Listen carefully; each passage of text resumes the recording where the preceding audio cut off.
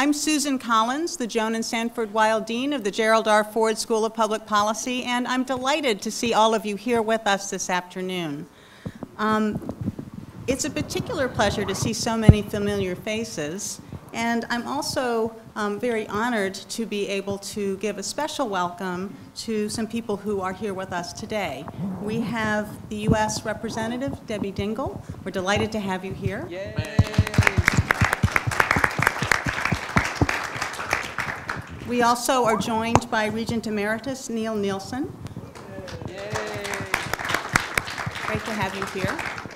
And we have the University of Michigan's Vice President for Government Relations, Cynthia Wilbanks. Welcome, Cynthia.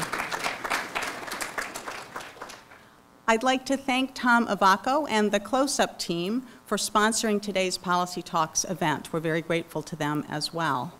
Well, while this event is the last in our Policy Talk series for this semester, and I'm sure you'll agree with me that we're ending on a very high note, we do have a number of exciting events that are planned for winter term, and so we hope to see many of you back here with us for some of those events as well. Well, today's event will be a conversation style discussion that is hosted by our very own faculty member, Congressman Joe Schwarz. Congressman Schwarz is a U.S. Navy veteran who also served with the CIA in Laos and Vietnam. After serving in the Michigan Senate from 1987 till 2002, he represented Michigan in the U.S. House of Representatives from 2005 to 2007. And now, in addition to his medical practice in Battle Creek, he lectures on Congress and state legislatures here at the Ford School. Thank you, Joe, for all that you do here for us. Yeah. Well, Congressman Schwarz will delve more deeply into our guests' experiences while they were in office shortly, but I would like to share a very quick word about each of their distinguished service before we get started. After serving two terms in the Michigan Senate, Congressman Rogers was elected as a Republican from Michigan's 8th District to the U.S. House of Representatives in 2000. He served on the Energy Committee, and in 2011 he became chairman of the House Intelligence Committee, a position that he held until his retirement from public office earlier this year. Reflecting on Chairman Rogers' tenure, former Speaker of the House, John Boehner, said, by being tough but fair, he has navigated the toughest issues we face while commanding the respect of colleagues and the intelligence community. Congressman Camp was first elected to public office as a member of the Michigan House in 1989.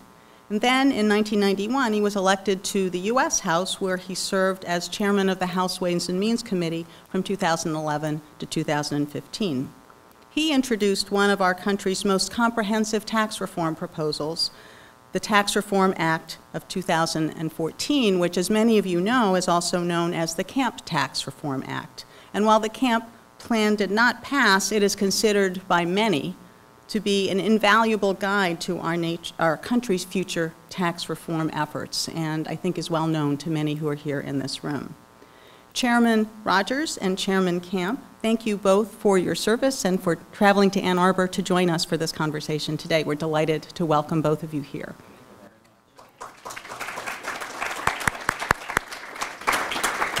So just a quick note about today's format. Um, beginning around 4.40 p.m., our staff will start collecting cards. You should have received them when you came into the room today. Um, and then together, Professor Rick Hall, together with Ford School student Therese Empey and John Lynn, will facilitate the question and answer session. For those of you who are watching online, please tweet your questions into us and use the hashtag PolicyTalks. So with no further ado, it is my pleasure to turn the floor over to Congressman Joe Schwarz. Thank you, Dean. Uh, it, it, really is a, a, a, great pleasure and an honor, and it's a lot of fun, too, to be uh, uh, back with uh, Mike Rogers, and an old buddy. Uh, I won't recount any of our escapades in Lansing, but uh, nevertheless, and Washington, but nevertheless, we have been friends for many years. The same with Dave Camp, a distinguished member of the U.S. House whose office in the Cannon building when I was there was just around the corner, and Mike's was just up the hall uh, in, on the same floor, I think, in the Cannon building, as I recall. Uh, so they are, they are good friends, they're good guys, they were distinguished and productive members of the U.S. House. So with that, I would like to start with, uh, it's not necessarily a question, but I would like you to observe, both of you, uh, the, the happenings uh, in the United States House of Representatives, uh, let's say in the last 10 months since you left, uh, how, how it has affected uh, the House, how it's affected the ability of the House to get the job done, how it has affected the ability of the House to choose its leaders, uh, and how it has affected the, the uh, view of the House, shall we say, uh, that the American people have. In other words, can the House, is the House still a- an effective legislative body? Dave? Well, thanks for that easy question. Um, well, yeah, it's it's certainly been a, a, a challenging few months for them. Um, let me just say that a, a you know a group of people figured out that with 29 votes, the majority is no longer the majority.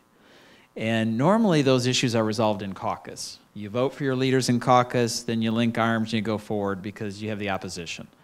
Um, but they took this fight really potentially to the floor. And when this happened over the summer, I was looking on that and I thought, well, why doesn't the speaker just bring that to a vote and vote it down? That's how you deal with something like that. Well, clearly there was a reason why it didn't come to a vote because it might not have been voted down. And this sort of sat out there all of August, and then ultimately, I think the threat of a potential um, government shutdown really caused him, the speaker, the current, the, the former speaker, to do the right thing, which was to resign and thereby open the way for this two-year budget agreement that really has sort of taken some of these, these issues off the table. But it is a very, uh, I think, a destructive thing, and I think it would have been very unfortunate for the Republican brand, if you will, um, to have had that government shutdown, which would have impacted not only the Senate, U.S. Senate races, but also the presidential campaign. So, you know, that is just a very different model than certainly when I first started there, where there was, a, a, you know, a certainly a greater deference to the leadership that was elected, and also to the committee process and the committee chairs. But having said that, um, and many members of the Freedom Caucus I've met with individually on tax reform, they're very interested in doing tax reform, and I think uh, in other, when we had the majority the other time, when I was in Congress, um, it was it was also a challenging time. But we, you know, we always felt like we were kind of doing big things, and I think this sense that nothing's happening and nothing's moving forward is building up this incredible not only frustration in the Congress but clearly with voters. And so I do think that you're going to see um, an attempt at articulating a an agenda and, and trying to work toward that agenda. And I, you know, as Paul Ryan said, we want to go from the opposition party to the proposition party. And I think that really the power of ideas are what members are wanting to do. And I, I saw this as I worked on tax reform with Senator Baucus, who was my Democrat counterpart the, at that time on the Senate Finance Committee. And we had a lot of meetings with both senators and, and, and House members on and off our respective committees there this, there's this incredible desire to legislate from both parties. And a very, a very huge frustration because there's this sense that that isn't happening. And so I do think that you're going to see a shift to you know, the committees working even harder and trying to do more. So I think that, that this brinksmanship where it's all about is it debt limit or is it is it you know funding the government i think there are also other ideas that need to be you know brought forward and debated and vetted and uh, I, i'm hopeful that we'll have we're sort of moving into another phase and hopefully they've stared into the abyss and seen that that isn't necessarily a productive way it doesn't necessarily help you move issues forward but there are sincere views that we're not doing enough about our debt and deficit among uh, some members, and uh, that's where I think this is really being driven. So, Michael? Uh, I mean, I think it's been toxic, and that's probably not good for the country as a whole. And I don't think it's just Republicans adding to that recipe. But uh, if you looked around the world, and I've traveled around the world, I know Dave has, and I know you did a, a lot as a member as well it doesn't reflect well on our democracy. We are supposed to be the leading democracy in the world, and that dysfunction, I think, is not helpful. So it starts there, and it certainly gets closer to home. And parties, we have to remember, are coalitions. Both parties are made up of coalitions. Uh, there's no monolithic individual that you would find in either party. And sometimes those coalitions rise up to, to different uh, views and opinions and positions in, again, in both parties. And I think what we found was, and what shocked me, I think, most about the last 10 months, is when they came out with the list of demands, this 29 members that Congressman Camp was talking about, it was never, it wasn't about an issue. It wasn't about debt. It was, it was about a process question, which tells me that they didn't like the way the speaker negotiated the deal, right? If you're a legislator and you don't think you're going to negotiate a deal, you probably should not be a legislator. Uh, That's exactly what the duty calls for you to do, right? You have to sit down with somebody you likely disagree with and come to some conclusion to move something forward. That's the whole nature of being a legislator. Uh, And that's what I think shocked me, and I think that was adding to the acrimony of it, is because if you, you, they were never happy with any solution. If you got 80% of what you want, would you take the deal? No. 90% of what you want? No. 95% of what you want? No. Right? That's not healthy to democracy, and I don't think it's helpful, healthy to the legislative branch. I'm, I guess I'm a Reagan Republican in that, where he said, I'll take the 80% deal any day, and I'll get up tomorrow and work for the other 20 right? That's just the way you push forward the things that you believe in. And that part was missing. And I'm very hopeful with the new speaker, candidly, that we can get rid of some of that acrimony. He comes in with none of that baggage of all of the old fights and all of the old disagreements. I think he'll have a fresh face and a fresh start. He's wickedly smart. Uh, and I think he likes the idea of the notion of trying to bring people who disagree to come to a conclusion to get something done. So I, I, I'm an optimist, but in politics, you pretty much have to be an optimist these days if you're going to survive. The Republicans have a 23-24 vote margin over the Democrats in, in the U.S. House now. Election coming up next year. Uh, Who knows if they're going to hold that, how much of it they're going to hold, how big it's going to be. The bigger question is, do you think that this Congress and its members, uh, both Democrat and Republican, are going to be able to kind of retrain themselves, reset, and be able to work across the aisle on some issues that really need uh, to be looked at, uh, things like taxation problems that need to be solved, defense budget, things of that nature that, that, that really are going to need some work, but it's going to take a bipartisan effort. Is that possible, Dave?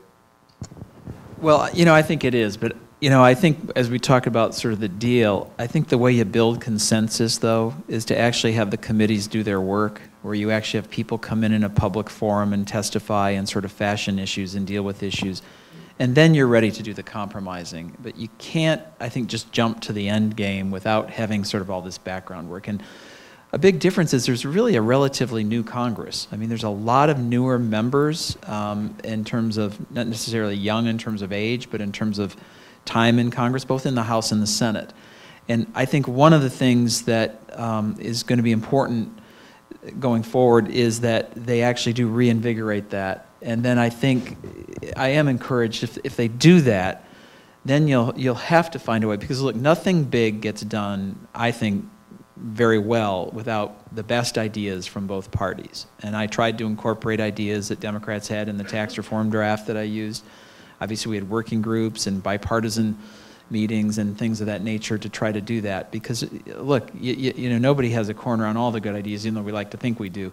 But that's how you get through a process where there's divided government, where, you know, yes, there's a Republican House, but they don't have 60 votes in the Senate, so you're going to need Democrat support to move anything in the Senate. And, and there's a Democrat president, so you're, you're going to need to find ways to do that. And I, there are opportunities. I, I felt very good about the direction Max Baucus and I were trying to go. Um, you know, they promoted him to be ambassador to China, and that kind of ended sort of the partnership in terms of moving that forward on, on tax reform. But a lot of groundwork's been done. They're going to do more, and, and I think the new speaker is going to really empower the committees.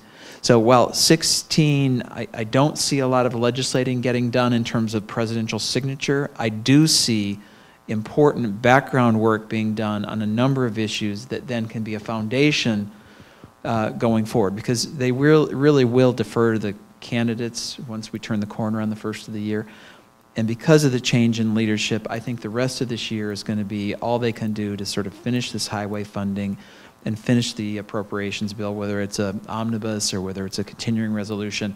I think those are going to be the things that finish this year. But next year, I think will actually be a very active year at the sort of, uh, not necessarily the, you know, press release level, but at the committee level. Mike? I agree with that completely. You may have some one-off issues that you can get at in a bipartisan way in both the House and the Senate, but there'll be smaller issues rather than the big issues that face the country.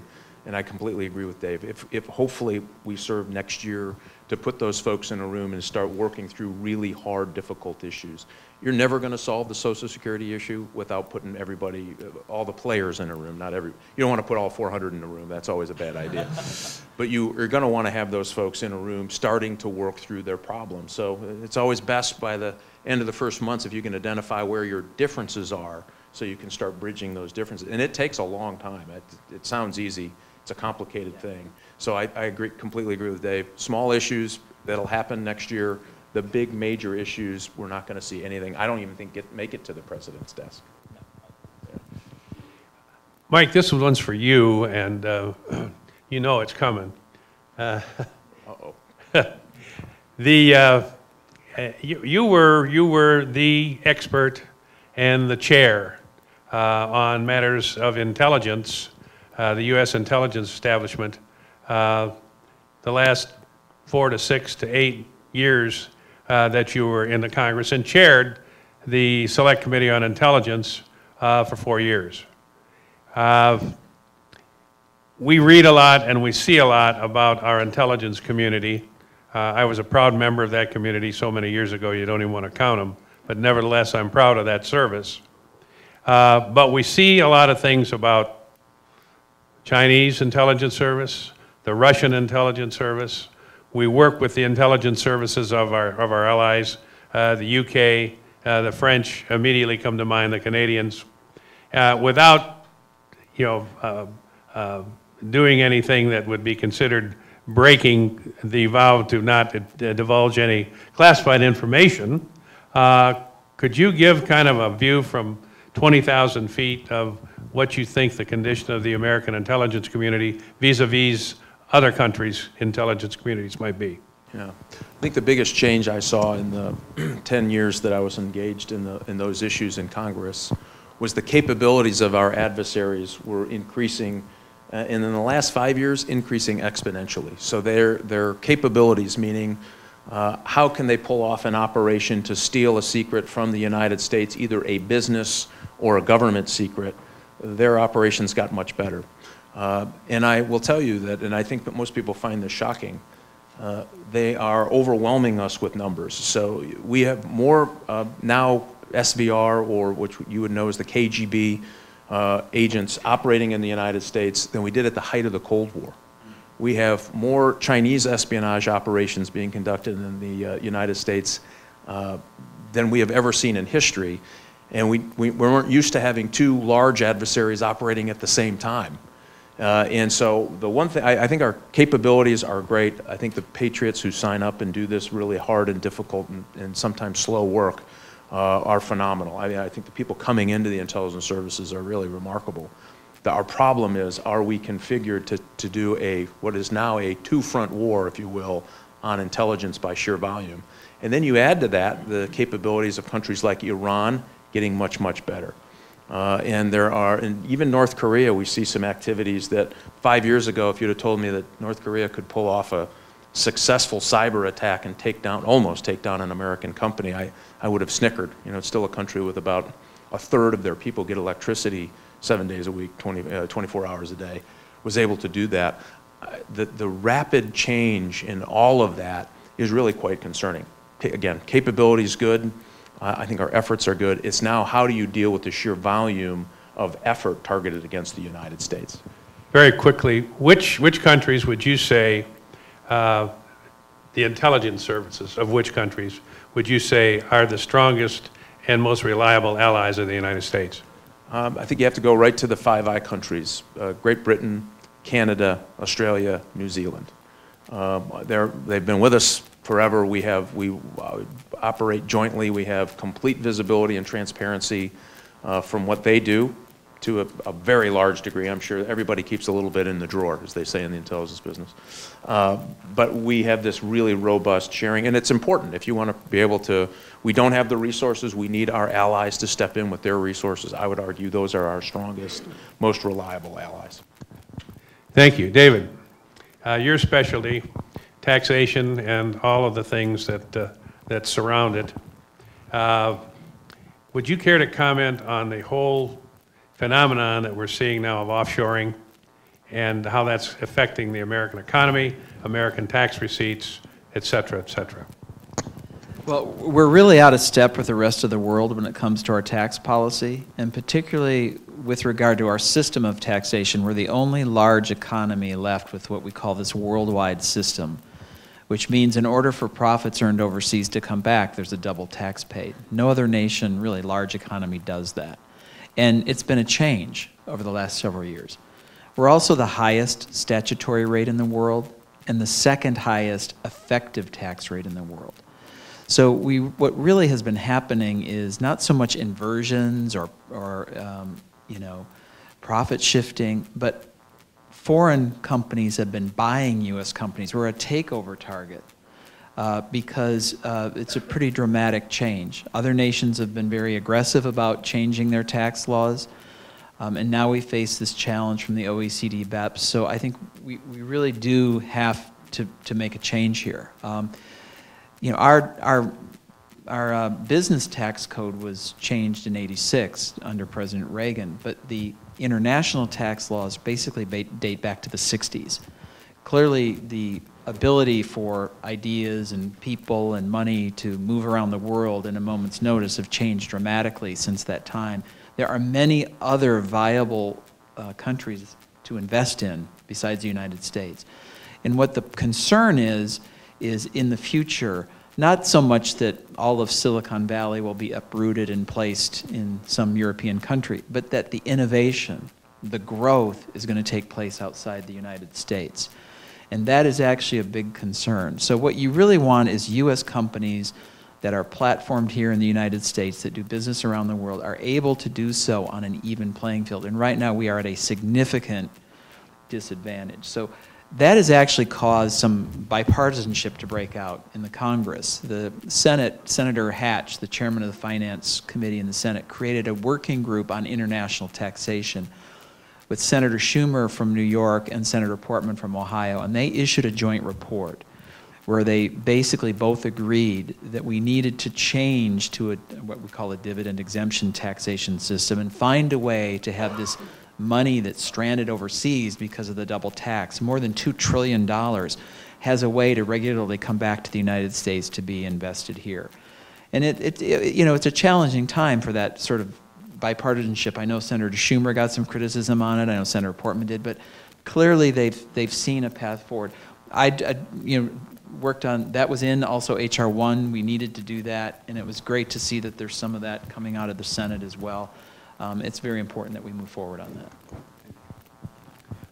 Here's one I would really like to hear your opinions on.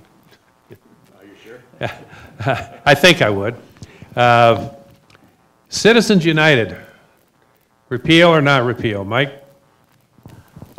You know, I, I think that uh, transparency is important. I, I worry and I oppose the, uh, the original law that got us to that in the first place. And I wasn't, and I got a lot of heck for that uh, in the beginning because I was very worried about the money that is in politics creeping to outside groups of which you have no idea who they are. Um, and you, you, whoever comes up with the most clever, cutest name wins, right? Because that's what's left on your answering machine uh, and you have no way of really getting in and finding out who is that.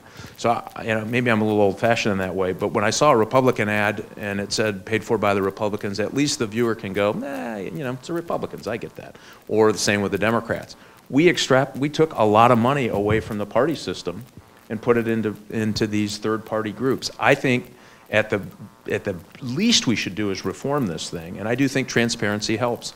You should know who is giving money to these organizations that are impacting and influencing politics. I'm, I don't, I don't, I'm not big on the, the, the uh, saying you can only give X or Y or Z, but transparency to me is the best cleaner in all of this, and I think it cleans it up. So I, I'm a little worried about where it is. I think we can reform it, add some transparency, and just make these groups accountable.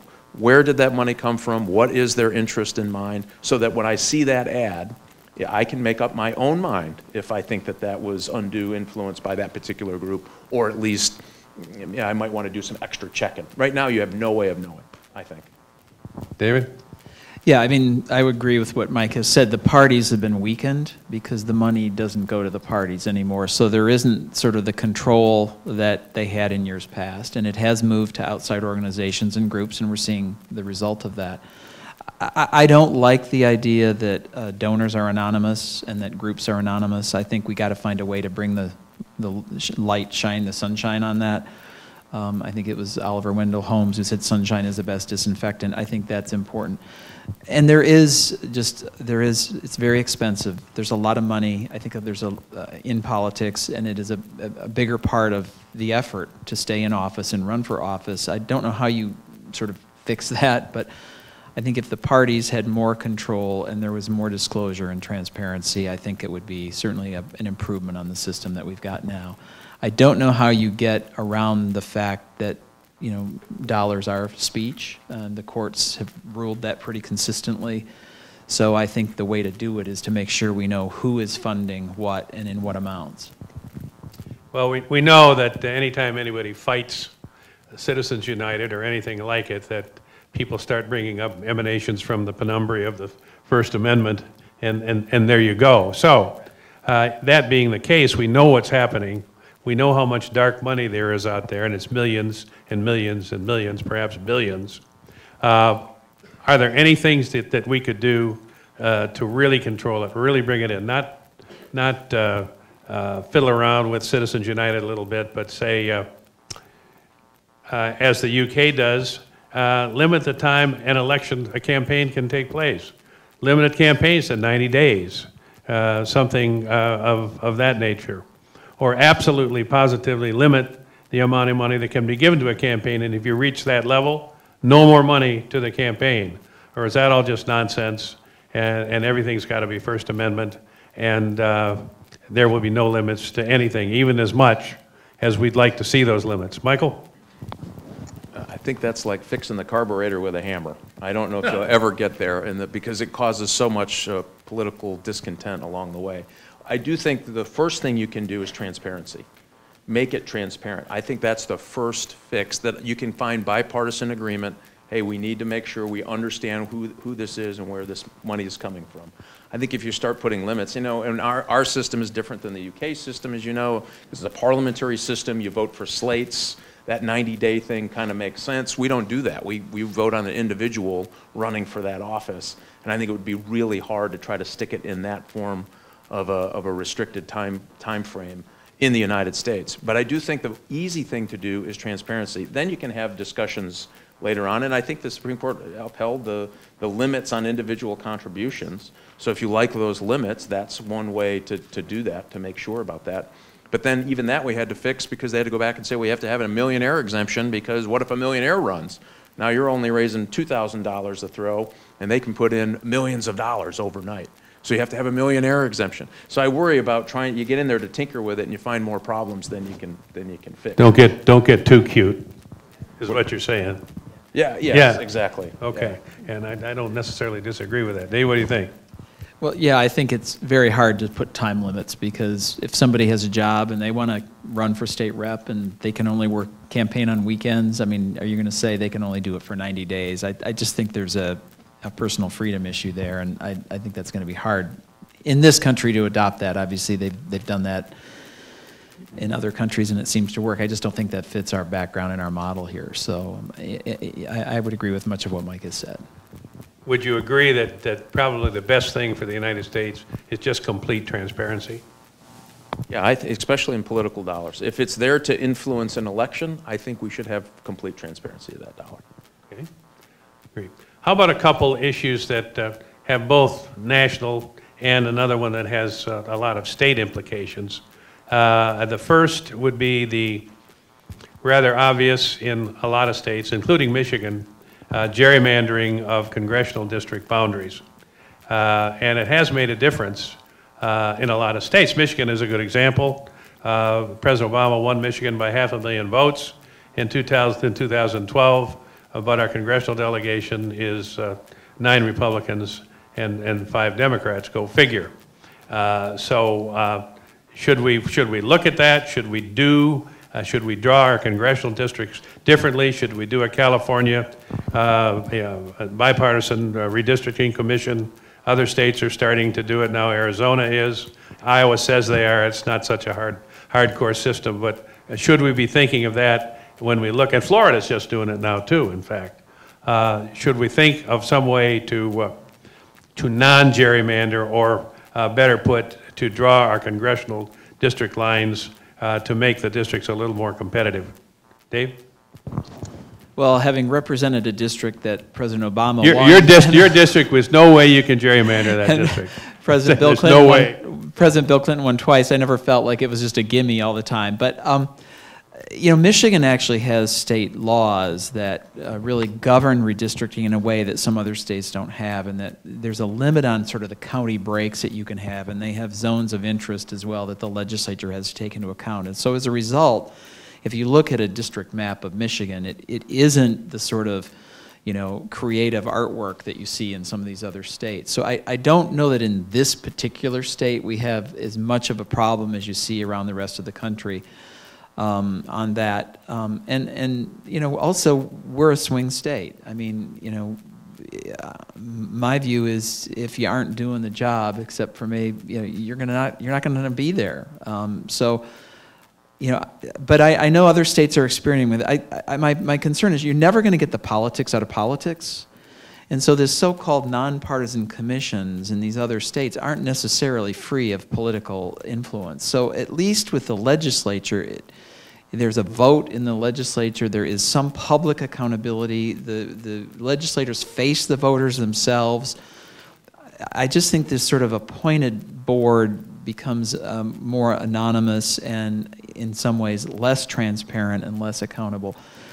But I do think the, the, the, the protocols that have been established in Michigan have really resulted in, um, you know, a, a pretty fair plan. Now, you know, as you certainly, when you try to make the districts exactly equal in population, you do get some, you know, very, um, on the, on the margins, you get some, some problems there. But I think for the most part, we've got pretty good districts. Except the 14th in Michigan and the 5th in Florida. T- Take a look at those when you go home. Michael? Yeah. Yeah, well, and the, the one thing in the state system here is that it's about how many breaks in line, so they're trying to avoid that kind of creative salamander-looking thing. Um, and I think that's a better system. And if you look at the states that are running into problems, they don't have any of those restrictions. I, I completely agree with Dave. Where they have done these so-called independent commissions, they are never independent commissions. I mean, how do you find anyone to serve on that commission that doesn't have a political objective? Good luck. I don't think you find it. So in at least a legislative body, if you put the right restrictions on about breaking lines, you can't separate certain populations, and which is a lot what we do here in Michigan, you get to a better map. And it's more accountable. You mean, you know, politics is politics. If you're the Republicans in the state, you think it works great. If you're the Democrats right now, you think it's awful. I guarantee if that flipped, the, the, uh, we would feel it was awful and the Democrats would feel it was fine. But you, the one part of that is you have accountability in your legislator, legislature. And I worry that if you give that away to an independent commission, you've done more harm than you've done good. Yeah, I mean, one of the redistrictings I went through was drawn by a court. And I felt like there was very little accountability there. I mean, there was no ability to sort of, I mean, there was testimony and they had a trial and all of that, but the judge basically drew the lines. And I, I think that is a breakdown in the legislative process. So when you have that happen, I think you actually get a worse result. Yeah, I think it's going to be an issue uh, for the next six, eight, ten years to see how actually we draw these lines, and we'll see where it goes. Uh, One final question before we take uh, questions from the audience. I want to talk for just a minute or two, ask both of you for just a minute or two about the U.S. military. How big should it be? How expensive should it be? Uh, Should the Navy be bigger, have more ships? Should the Marine Corps be larger? Should the Army not be cut the way it's being cut right now, uh, and so forth and so on. I believe the number for FY '16 was $602 billion, uh, which is a lot of money, obviously. But uh, what are the responsibilities of our military? we, uh, should we be thinking about boots on the ground in places uh, halfway around the world? Uh, should we be the go-to military for virtually every free country in the world? Uh, it's a question that the Congress is going to have to ask because there are only so many dollars out there. There's only so much in the way of resources, and, and how big, how well equipped, how spread out worldwide should our military be? And you can give me the 20,000 foot answer to that one, too. Well, you're an expert in this, Oh, more I than know, I I'm am. an expert.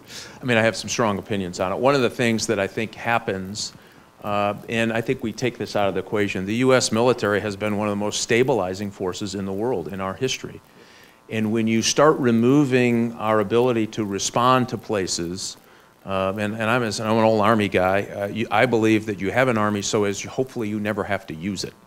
Um, and as George Washington said, if you, if you want peace, prepare for war. Um, and we have somehow managed to lose that edge, or at least our adversaries don't believe we have that edge. And people will take advantage of it. And I think you see that happening around the world.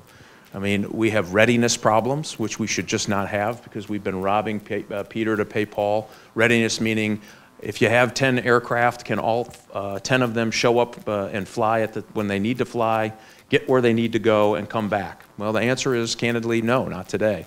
Do we have, we have 11 carrier groups. Can all 11 carrier groups steam up and get where they need to go and get back? The answer today is no. Um, and here's what I really worry about about these arbitrary military size cuts, which sounds great. We're going to save all this money. We are wearing our military kids' families out. I mean, wearing them out. So when you shrink, unless you're willing to say we are going to absolutely contract our ability to show up places in the world, you're going to ask them to do more. They'll have to do more. The deployment, the average deployment time and length is really astounding. Uh, and these kids, I'm telling you, we're wearing them out. You look what's doing their families. It's really quite troubling. And when you cut 40,000 people out of the United States Army, uh, and by the way, that a week later, Russia announced 40,000 troops. I'm sure the number was coincidental, going to the Arctic, right? They are sending a signal. They reacted to our signal. And what that means is those deployments get more frequent and more often with less people. I think that's a mistake. So the first thing we ought to do is stop all of that. We ought to make sure that we have deployment cycles that will at least allow these kids to be able to, and I say kids, a lot of them are in their 20s and they're married and they're, they have families, that they're not deployed on these long cycles for short periods. It used to be you go for 15 months, you would never have to get deployed again for another 15 months. That's gone. They go for 10 months, back for three, back, gone for 10. It's, it's, this is not healthy. And it's not right that we ask these people to do that. And so I, I believe you got to get it, we got to right size it. We've got to upgrade our nuclear uh, arsenal, which we haven't done. We've, we've neglected that. Why is that important? Pakistan this next year will be the fourth largest holder of nuclear weapons. Iran is continuing its ballistic missile program. Russia is now, according to public reports, talking about uh, abandoning the INF, the Inter, uh, Intermediate Nuclear Forces Treaty, which is those short-term nuclear missiles. Big problem for all of us, including Europe. Uh, all of those things, we're going to have to step back and say, well, we, we're going to have, we have to get, get ourselves back in shape militarily. Uh, and if you want to stop problems, I argue you have a good, robust military that's best trained, best equipped, can show up anywhere in the world. And by the way, can go two places at once because we're going to be engaged. You look at what China's expansionist activities have been, what Russia is up to. We're going to have to be in two places or at least show up. Uh, and right now, we're making it much more difficult for our military commanders to do that.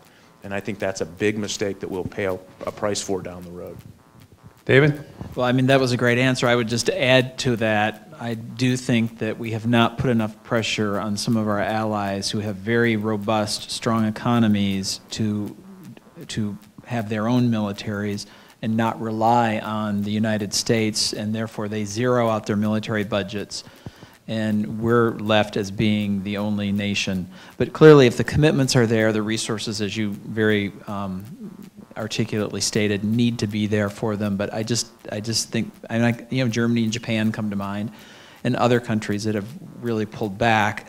They need to step up and, and be a part of that solution as well. Can I give you a bit of good news on that front? Uh, You just mentioned Japan. Uh, I happened to be in a conference with uh, Japan and Australia on the rising Chinese aggression in the South China Sea and the Pacific Rim. And Japan is changing their constitution. It's caused a bit of a political turmoil there to in- allow them to engage in overseas activities, meaning patrols and other things. That is really critically important, and to that end, will help our financial commitments there. They'll be able to offset a lot of our costs uh, in policing. Remember, we did that to them, right? We told them to do it, they did it, they adopted it as a political philosophy. We ought to encourage them to do this. That helps with that equation that Dave was talking about. Yeah, that was a long time ago, and the Australians as well. Well, whether it's uh, the Middle East and the Arctic or the Spratlys and the Paracels in, in the South China Sea, uh, we really do need our military. And uh, I, and I'm happy to see that Mike and David uh, are concerned about what's being done, which I believe is short-sighted. Doesn't make us warmong- warmongers, just makes us very, very careful Americans that we want to be able to defend ourselves and also help defend and fight with our allies when, when we need to. Uh, So with that, uh, John, want to start the questions? Yes. So, Hello, Congressman Rogers, uh, Schwarz and Camp, thank you very much for being here and talking to us today. Oh, Can you hear us now? There we go, okay. Uh, So my name is Therese Sempe, and I am a first-year MPP student and a lifetime resident of Michigan, so thank you very much for your service to our great state. Our first question today is, as surveillance technology becomes more pervasive, what are your thoughts about the trade-offs between privacy and security for American citizens? Oh, look at the time. I think this is going to be one of the biggest issues we face moving forward here about how we look at our national security vis-à-vis the explosion of technology in our lives. Um, And I think that you, you don't have to have an either-or. I I don't even buy the conversation that you have to sacrifice a little of one to get a little more of the other, and you just have to, you know, suck it up. I don't buy that at all. And I don't think that's an accurate portrayal of the protections that we have in place and the technology that exists. Here's the problem. If you, and this has always been my pet peeve, and of course, as chairman of the Intelligence Committee, we got all of that. Lived through the NSA contractor leak uh, events. It's a year of my life I'd like back, by the way. Um, And what we found was, was this is fascinating, what people believed our government was doing is based on their connection to technology of what the, a, a private sector company is doing, right? The amount of information that the private sector, a company like Google or Amazon or others, collects on you every single day is staggering, right? And I always say that a good offense, this will get me in big trouble, so, but I'm not elected anymore, so I can say this. Um, A good offense is a good defense. The amount of, and and they're coming out and saying, we're, we're the only ones for privacy, and we're not even going to answer a, a legal warrant from the National Security Agency or the FBI after it's gone to a judge and been adjudicated, issued a warrant. They're not even going to respond to it because they care about your privacy. Have you ever stopped and thought why they do that? Why would they basically say, we're not going to uh, uh, abide by a legal warrant from a federal judge on a terrorism case? Why? Because they're collecting more stuff on, they know more about you than you can possibly ever imagine. By the way, the NSA would dream to have a database like that. And so we're going to have to shake ourselves out of this in a real hurry. We are, we are, the United States is in a cyber war. Most Americans don't know it. And by the way, we're not winning. 85% of the networks in America are private sector networks. They are getting killed. They're getting killed by Chinese economic espionage. Now the Russians have changed their plan. We found them on our financial markets, again, according to public reports. Recently, people are asking, why would they be there? Crash the markets, maybe? I don't want to find out. Anybody in here want to find out? Right? We are losing this fight because we can't get over this privacy versus security hangover. And candidly, and I've told this, and I'm not telling a tale out of school, I've talked to Google and Amazon and others and said, you're, you're killing your position here, uh, but we got to get out of this in a hurry. You can do both. You can have both. Uh, but the longer this goes, the worse we're going to be. And they're finding new ways. Let me tell you how bad it is, just real quick, as an example.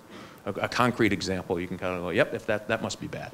So now they've figured out ways, uh, they being nation states uh, and intelligence services, to get into our uplinks on our satellites. So, or, and downlinks. So everybody has the app to get to the Starbucks, right? Imagine if that didn't work during the day, huh? At about four or five in the morning when you're needing a little caffeine. Well, imagine our technological advantage in the world is technology. One sixth of our economy is tied to a commercial internet, right? This is something we should protect. This is something we should be concerned about. Well, they got into those uplinks, and imagine all of our smart weapons. One of our strategic advantages in the world is we have really smart weapons.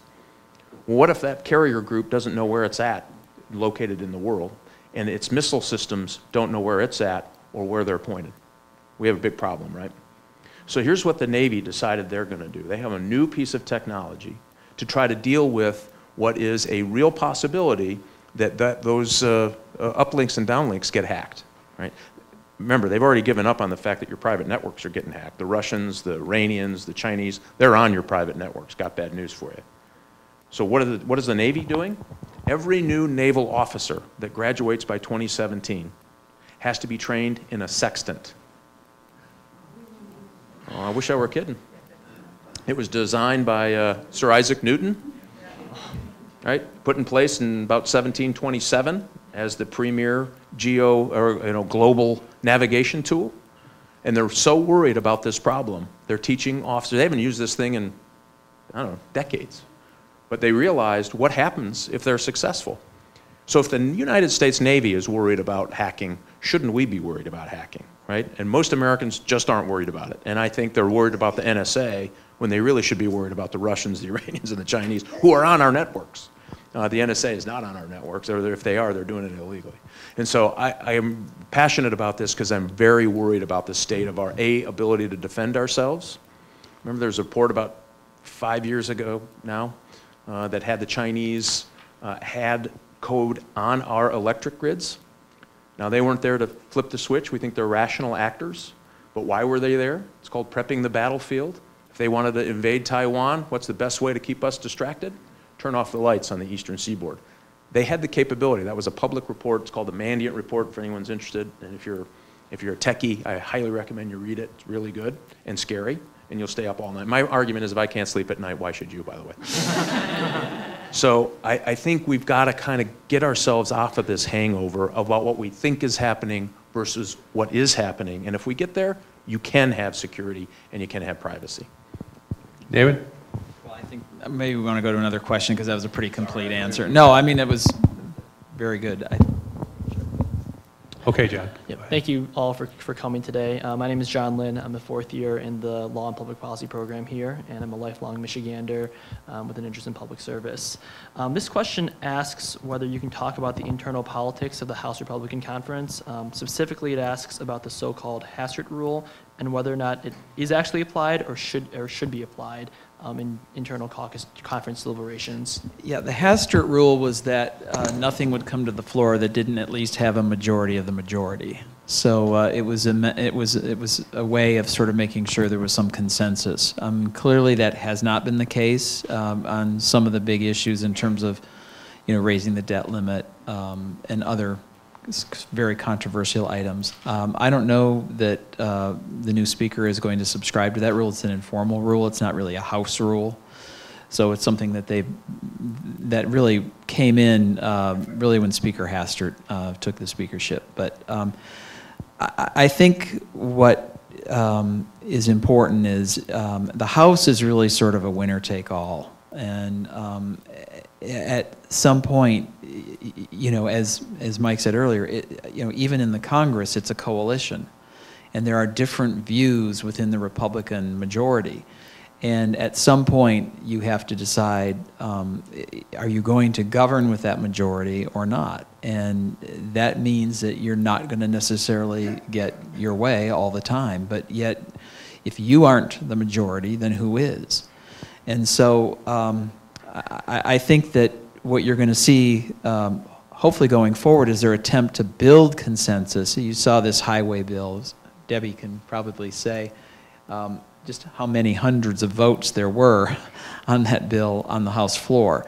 Um, So I think there's an attempt to really build consensus in a way that had not been the case uh, previously. And I think that's, the only way they're going to be able to manage it, um, because um, you're just not going to be able to do it in the way that it was being done in the past, where either deals were uh, sort of done and then presented to the Congress, or very few amendments were allowed. Um, You really do want the Congress to work its will, and and to the extent that you can do that, and you're not operating with your back up against the wall on a deadline, so.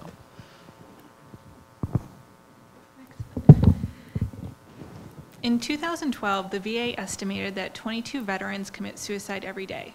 What role should policymakers play and what precisely should be done to solve this pressing issue? Yeah, uh, there's been some great efforts, I think, to get after it. They've just been slow uh, and slow to get there.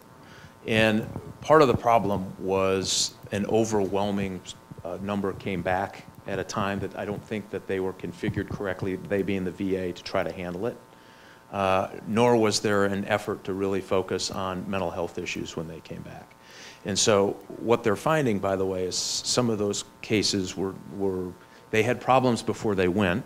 And so one of the things that they're doing now, which I think is, is great, is trying to identify those problems before they go. Or in some cases say, maybe if you fit this certain mental health issue profile, maybe we're going to find something else for you to do uh, in a way to try to help them through their problem. So it's not, if you can't look at it wi- without a holistic approach.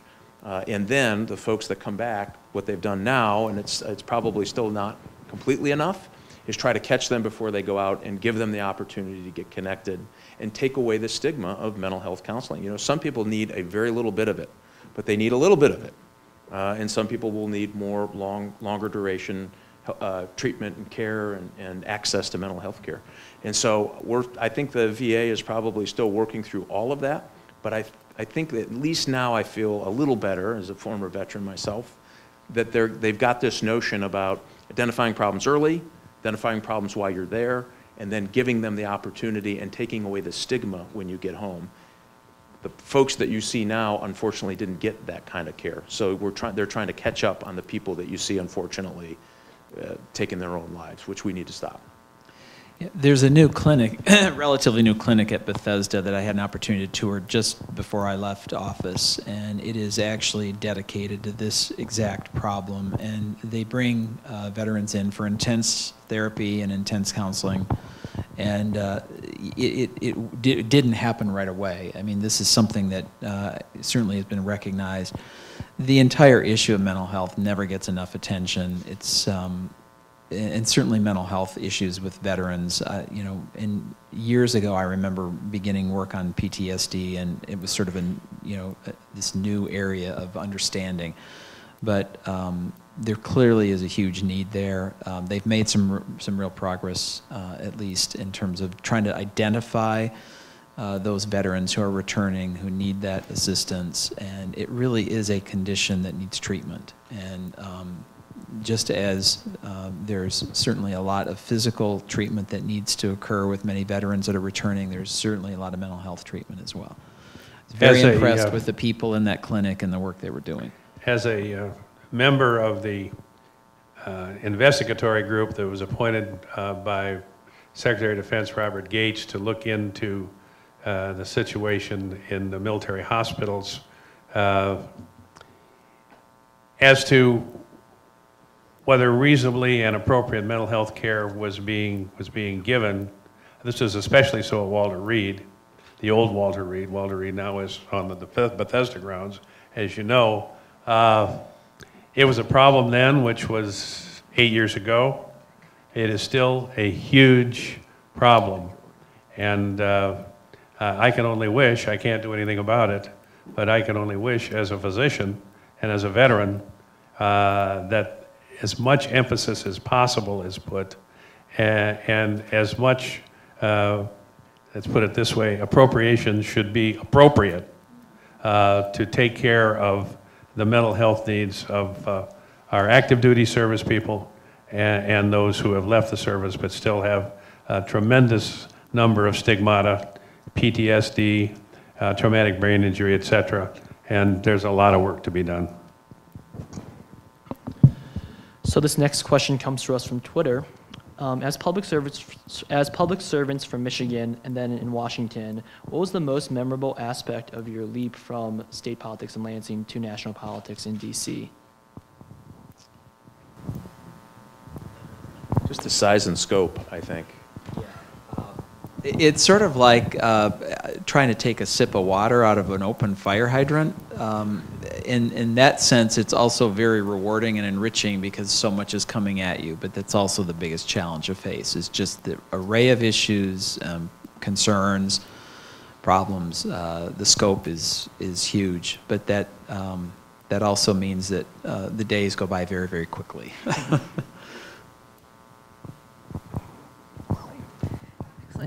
Um, When will we see the next iteration of the Camp tax reform plan? What are the most likely changes in the next version? Well, the, the tax reform proposals really shifted to some of the presidential candidates, and I think it's really exciting to see the number of detailed plans that have been put out there already. I mean, t- mine was a legislative document, and obviously these are campaign documents, but uh, a number of them are, you know, surprising in their detail. So I think you're going to see the shift there. I know that the new chairman of the Ways and Means Committee, Kevin Brady of Texas, I've talked to him. He is going to continue to work on this effort. Um, I know that new Speaker Paul Ryan wants to continue to see this effort. So I think you'll see some um, continued work done on the committee level as well and in the Congress um, and certainly in the Senate. I know that Senator Hatch is also, uh, and there's these bipartisan groups he's working with over there. But um, and I don't think we've seen the end of it. And I, I, think part of the reason tax reform is really being presented is, you know, there is this tremendous unhappiness with what is going on in the country and in, particularly Congress's lack of response. And I, I think part of it is the fact that we haven't seen the kind of recovery we want to see. I mean, still way too many people have left the workforce. Median incomes have been declining since 2008 or flat and um, you know it's very hard for people to get a job and get started or if they lose a job to find employment again. Some of that's being voiced through this issue of um, you know certain income inequality. Others are talking about you know how we need job creation. One way not the only way but one way to do it is through pro-growth tax reform that could actually grow our economy and create jobs and I think you're going to continue to see this be one of the key issues in this election because I think the economy is going to be one of the big issues. I think this is going to be an economy jobs election. I could be wrong, but and I think one way to address it is to deal with with our, our out of date. Look, everybody knows it's broken. We need to fix it, and I think that you're going to see more ideas uh, on how to do that. And if that becomes one of the key issues in in this presidential campaign then you'll have somebody elected who really thinks that this is something that ought to be one of their top two or three issues. And the concern is if we don't do it, we're going to continue to see our tax base erode as companies are merged and become Irish-based companies or um, companies located around the world. Even though they'll have some presence here, the growth will be in other places. So um, it's encouraging. Uh, they're in different approaches. Some are sort of doing this lower rate, broader base approach. Others are doing more of a, of a consumption or fair tax approach. So there's actually different structures that are going to be debated, I think, hopefully in more detail. Tonight there's a, there's a Republican debate on, on a business channel. So maybe we'll actually have a question about the economy um, and what solutions candidates might offer. That would certainly be novel. Um, so we'll see. This question could take some time, but um, the consensus is that Congress is, quote, broken. How did we get here, and what can we do to fix it? Well, if I had an answer, maybe I'd be speaker, but um, no. I think, I think that issues have to be developed and I think they got to get back to work and they got to propose things that you know you might think that it's going to cause some controversy, but you got to step up and do it. I mean, I had senators call me and say, "Oh, don't put out a detailed bill. Everyone's going to be, you know, about all the things that you addressed." But what I my the response I got was, "At least you're trying to do something." So I think it's done through you know ideas coming to the Congress from voters, from people, uh, and and then you know, vetting those through the hearings and the committees. It's not glamorous work, but it's the work that, that legislators do.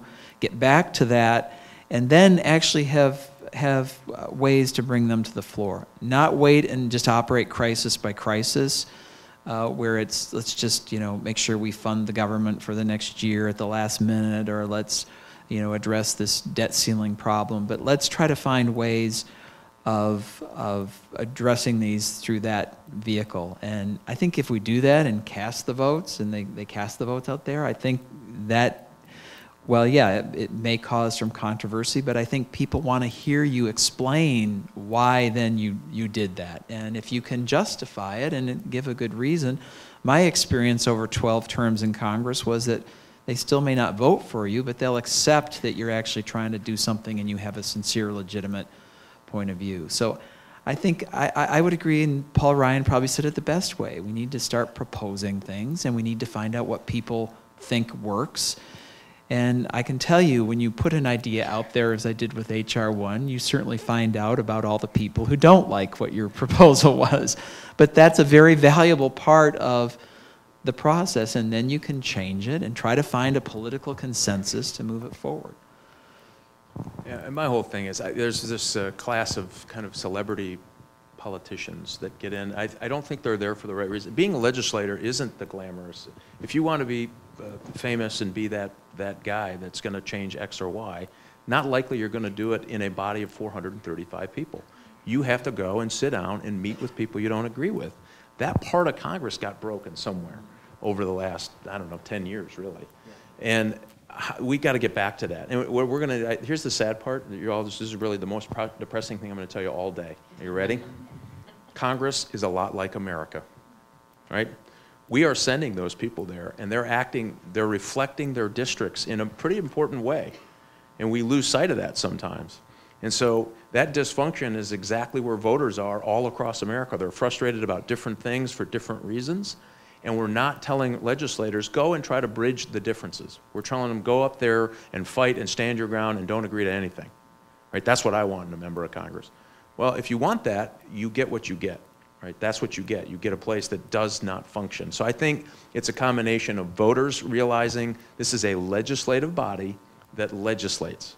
Uh, and you're not going to get everything you want. I argue you can move the ball in your direction if you're a good negotiator, you're good, you sit down and you can work with people, you can get what you, you can get where you want to go. It takes a long time to get there.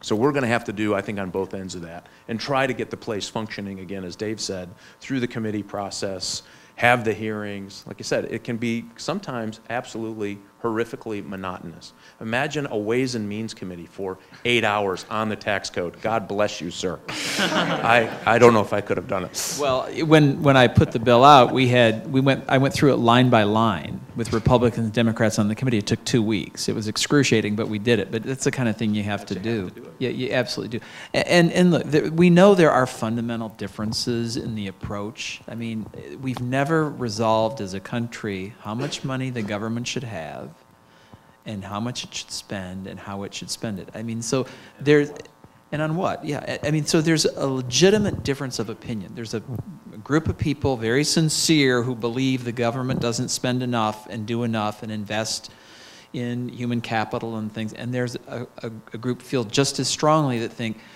you know, our debt is going to, you know, bankrupt this country, and if we don't start scaling back now, you know, the world is going to end. So, and, and I often say to people, try raising some of these issues at a family reunion and just see how far you get. I know my family, we don't get consensus, trust me. But so there, there are, but given that, if you, if you continue to work at it, you've got to find a, a way forward. And I know it, it isn't in fashion, but ultimately, these issues are resolved in America by compromise. And that does mean you don't get everything you want. And I think that is really where we have to ultimately end up. And it's not an easy thing to do because you'll have a whole bunch of people who say, why did you give away the store on whatever issue it is? What are popular misconceptions about your former job? What should voters know about the legislation that they do not? I think the biggest misconception to me is the fact that every member of Congress is a self-serving, you know, felon. Um, I just, I never quite saw that. I mean, there's bad people in everything, but I- the most people I met, even the ones I passionately, angrily disagreed with, I always thought were there for, for what they believed was the right decision. Um, So I think to me that is the biggest misconception. And given the, the voters' opportunity to let people do their work uh, and have some disagreements, I, I think the place would be a much better, much better place. And again, the people who are doing it, I mean, these are not, the, the, the brutality of going through an election is pretty, pretty awful experience. And really, everyone should experience it at least. Um, It's just a brutal thing, and, and members do it constantly. And, and I, I just, I think the, the view of what the average member of Congress or who that person is, is completely distorted. Because they're, they're basing it on the one congressman they see on TV that they don't like. That's not everybody that's there. There's a lot of people sitting there, probably right now, you know, Debbie Dingell's not here, was one of them, is always trying to put people in a room to try to get something done. Great. And that doesn't make the news. That's not on the cable outlets. That's not on CBS News. And I think that misconception is probably harmful, equally as harmful, or at least contributing harmful to the fact that people have a, they don't like the people who are there, they think on general. They don't trust them, don't like them, and they don't do anything. And then it's dysfunctional. And then, like, why do I care? Like, I, forget it. I'm not getting engaged. I think that cycle, we have to break that cycle. But I think that's, to me, is the biggest misperception about members of Congress and what happens there. Yeah, I mean, I- yeah, I, I would just say that um, I've run into some of the, my colleagues that I used to serve with, and I, I, I've been saying to them, you know, you're actually working a lot harder than you realize. Uh, and you don't realize the effort until it's until you stop. I mean, to do the job right is really a challenge. Certainly very rewarding, um, but it isn't all about um, you know, getting that award in front of a, a group of people applauding. Sometimes it's that delayed flight um, that you've had for the third week in a row, um, and you know, mi- missing some important family event because you're still there voting when you thought you'd be out. And so there, there are a lot of challenges. I think the probably the biggest misconception is just the um, sort of multiple pressures and dealing with that on, a, on an ongoing basis. It's so important to have the the support of people that you represent. And I felt always felt very fortunate in the fourth district that people I'd come back and always feel really invigorated every weekend when I came home, and then I was able to go back in and you know fight for them when I was in these meetings and you know uh, so i think that part just sort of the, the being stretched you always sort of had this feeling that you were never in the right place. Like when i was in washington i always felt like i should be in michigan. When i was in michigan i always felt like i should be in you know washington doing my work. So one of the, th- the things i've noticed about leaving is i wherever i am i am in the right place now. So i mean that i think that's probably the, one of the biggest challenges you face is you, the sense of you're never quite giving enough time or you're never quite there enough because you got to go on to the next thing There are some superb people in Congress. They, uh, they work hard. They don't care if their names ever get in the newspaper. They do their jobs. They represent their districts wherever those districts may be. And uh, I would say that's a majority of the members of the U.S. House as opposed to a, a small plurality. Uh, The media gets involved, an issue gets out there that gets people on edge, and Congress gets a black eye. And sometimes Congress deserves a black eye, but I think if, if, on this question, and what Dave and Mike have said, and what I would like to chime in on, is there are a lot of awful good members of Congress who work awfully hard and really don't care if they ever get their name in the newspaper. They're just, they're just doing their job. Uh, There aren't as many as there used to be, but there are plenty of really good folks down there. There's a couple of bad ones. They're in the federal penitentiary. That's how we know that. I'm not talking about them. I, I ran into one who went to the federal, I won't mention his name. I ran into one who went to the federal penitentiary in, the- in an airport, uh, actually in Newark, New Jersey, about, about two years ago. And I was talking to the guy, and, uh, and I was talking to the people behind me, and the guy goes, How do you know all that? And I said, Well, you know, I, one one time where I was a member of Congress, and this guy in front of me turns around and says, Well, I was a member of Congress once. And I looked at him and I said, uh, Do I know you when we were there? And he told me it was the same time I was there. T- It was Bob Ney. Yeah, He continued his federal service. He did continue his federal service. Uh, Uh, But I didn't recognize him because he'd lost about 70 pounds. But Mike, you're right. Occasionally, somebody sneaks off into the the federal uh, uh, the correctional system. Not too many, though. Pieces of. All right. Um, So would either of you consider reentering public service, or is that, cr- is that part of your past life? No for me, Uh, It depended, yeah, I mean, I wouldn't, younger than I am. yeah. I I would consider it under the right circumstances. So this is the last question we have time for. Um, So for many of us in, in this generation, public service is seen as kind of a thankless job. It's not really a career you think, yes, I want to, most of us. Um, So what would you say to kind of inspire our generation to say, you know, this, is- this is really a career that is, is wonderful to be in? Some of us think it is wonderful. to be in. or this career? Public Elected- services general, being a congressman, Oh, running for office. Well, first of all, I'd say go volunteer on a campaign to sort of get a sense of it. And, and there are nonpartisan, if you don't know which party you're in, uh, try a nonpartisan race. My first race was helping one of my partners run for judge, and in Michigan, they're nonpartisan. And, you know, I, I learned a lot and saw some things. So I would just say try things as a volunteer. Um, and, and then um, I, I think it's incredibly rewarding. Um, I mean, first of all, you have an opportunity to impact people in a very positive way.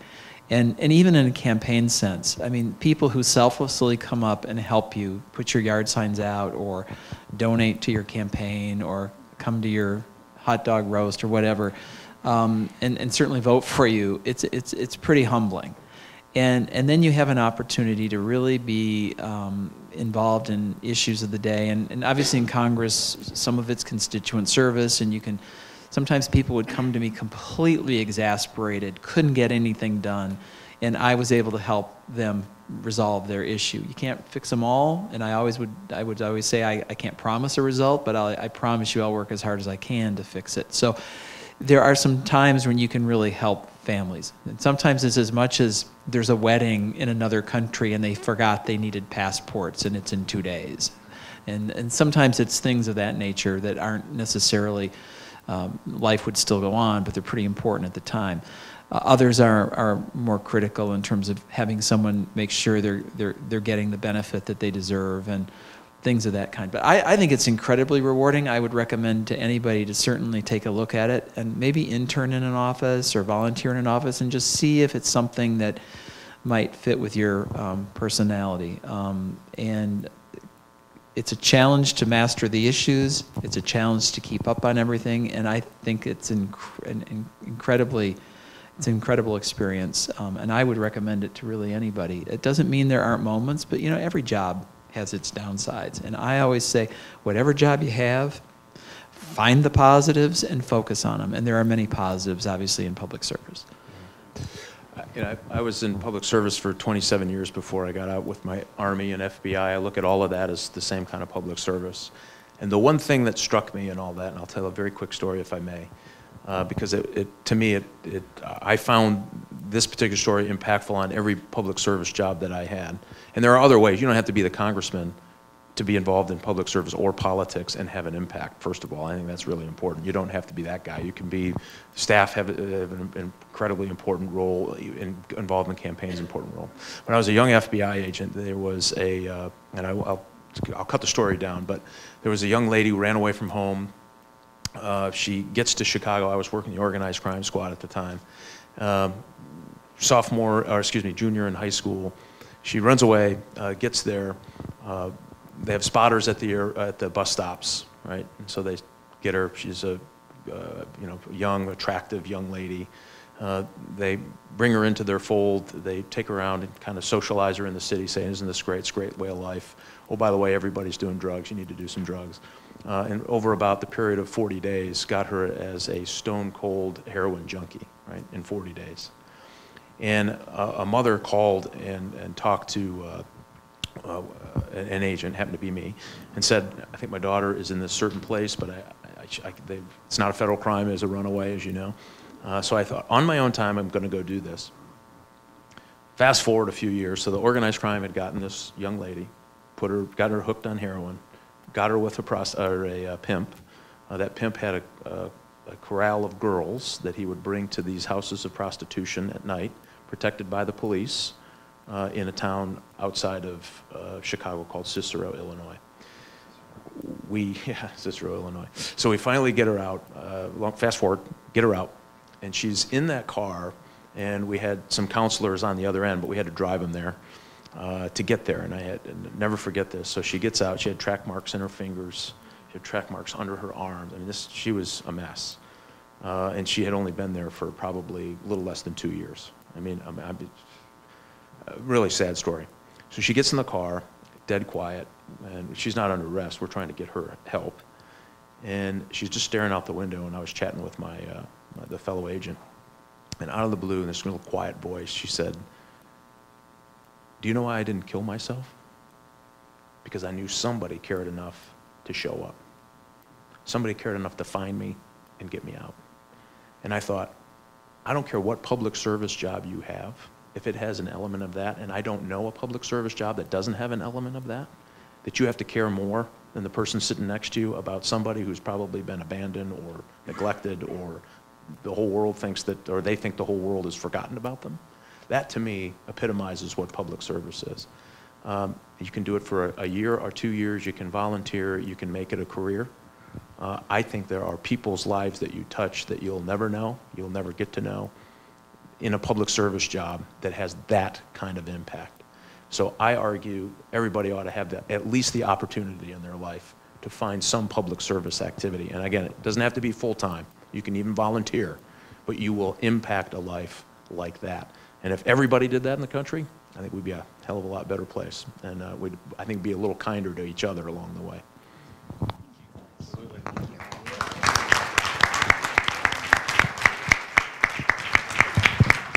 Amen to that, Mike. So David and Michael, good friends, uh, just utterly superb and distinguished public servants. Thank you for coming to the Ford School. Thank you for sharing your thoughts on a number of issues with us this afternoon. Uh, All the best to you in the future. Thank all of you for coming, and go blue. Thanks.